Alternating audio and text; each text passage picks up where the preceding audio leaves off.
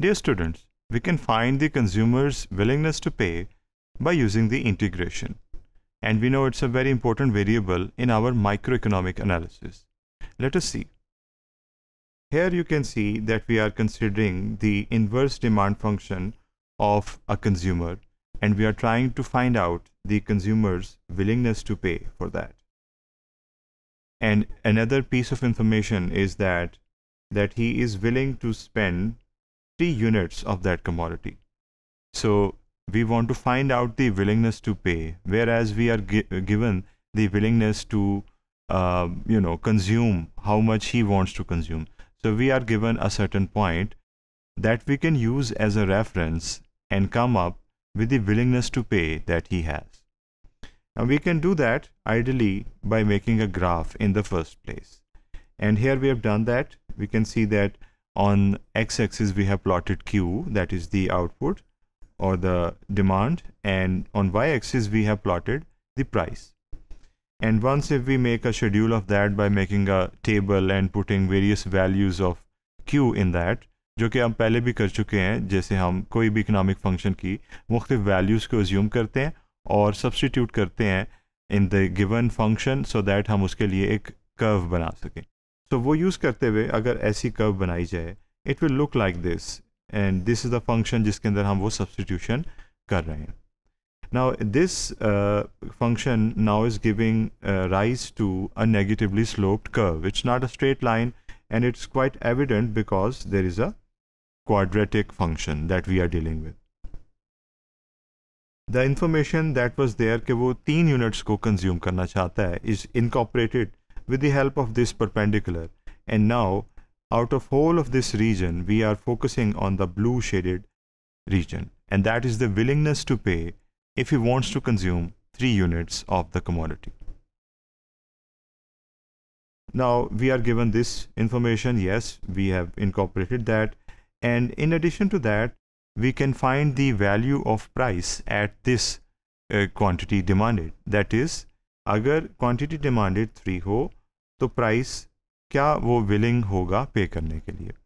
तो प्राइस जो है वो 64 and that is very easy to find because जो हमारे पास इन्वर्स डिमांड फ़ंक्शन गिवन था, उसमें हमने क्वांटिटी की जगह उसकी वैल्यू थ्री सब्सटीट्यूट कर दी। और इसे आप सिंपल अलजबरा से हल कर सकते हैं। वीडियो को पॉज करके आप इसको देखें ये कैसे सॉल्व की गया है। नाउ आफ्टर दिस ये हमारे पास ग्राफ हमने रीड्रॉ किया है।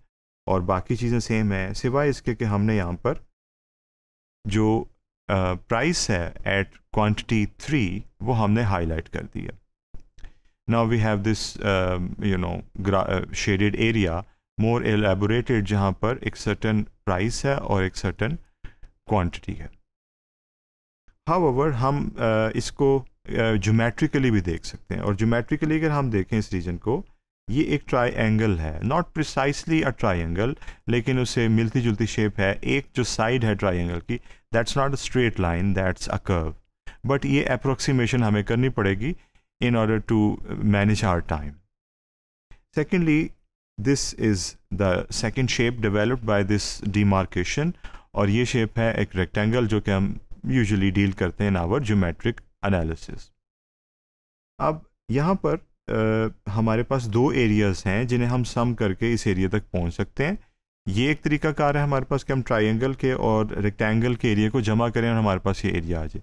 लेकिन इंटीग्रेशन हैज़ दिस फैसिलिटी कि हम एरिया अंडर द कर्व को कैलकुलेट कर सकते हैं। और इसके लिए हम इनडेफिनेट के बजाय डेफिनेट इंटीग्रेशन का इस्तेमाल करते हैं। Let see how we can do that ये है वो प्रोसेस जिसके तहत हम ये कर सकते हैं। हम जानते हैं कि area under the curve is what we are trying to find out और वो डेफिनेट इंटीग्रल से निकाला जाता है। और यहाँ पर आपने देखा कि जो लिमिट्स हैं वो दो हैं। Let us get back to the diagram जहाँ पर आ, ये भी बताया हुआ है कि ये ट्राइंगल है इसकी नोटेशन क्या है और ये भी बताया गया है कि ये रेक्टेंगल है। लेकिन यहाँ पर जो हमारे लिमिट्स के लिए इंफॉर्मेशन एक्सट्रैक्ट हो सकती है वो है ये। Lower limit and higher limit so it is zero to, three. तो ये ज़ीरो से लेकर थ्री तक हमने लोअर अपर लिमिट्स लगाई इस फ़ंक्शन में और फ़ंक्शन को एक्सप्लेन करके लिखा इन इट्स न्यूमेरिकल फॉर्म अब इसके बाद जो डायग्राम आपने लास्ट डायग्राम में देखी थी, अगर हम नीले एरिया को, इस सारे एरिया को कंसिडर करें it is actually a trapezoid and trapezoid जो होता है, वो वो होता है जिसके अंदर चार साइड्स होती हैं, लेकिन दो साइड्स पैरेलल होती हैं और बाकी दो साइड्स पैरेलल नहीं होती। And it looks like a collection of of a rectangle और a square with a triangle जैसे आप देख रहे हैं कि ये दो साइड्स हमारे पास पैरेलल हैं और ये दो साइड्स पैरेलल नहीं हैं। और अगर इसे हम डिकम्पोज करें तो एक रेक्टेंगल बनती है और दूसरी बनती है ट्राइंगल सो so, इसको हम फिगर आउट कर सकते हैं। ये इसकी डेफिनेशन जो मैंने आपको समझा दी ये लिखी हुई है।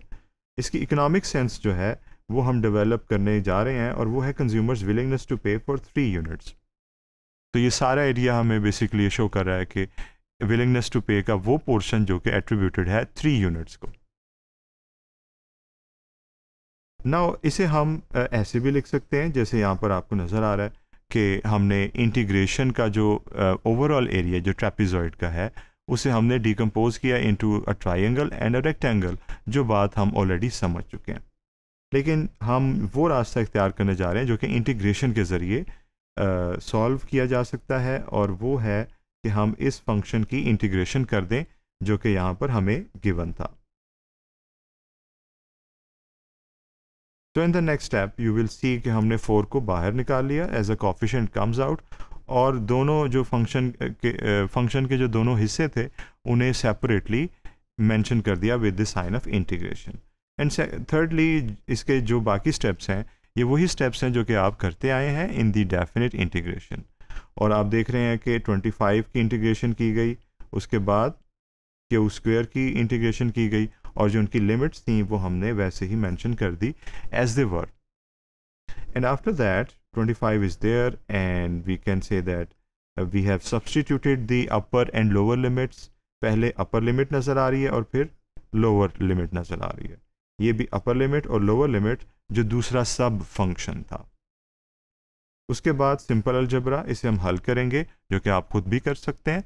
और उसका जो आंसर आएगा, वो है 264 जिसे हम कह सकते हैं कि it is the consumers willingness to pay तो इस तरीके से what you have seen is कि इंटीग्रेशन को हम यूज़ कर सकते हैं in order to find out the consumers willingness to pay for a certain number of goods and that was done by using one of the types of integration that is definite integrals.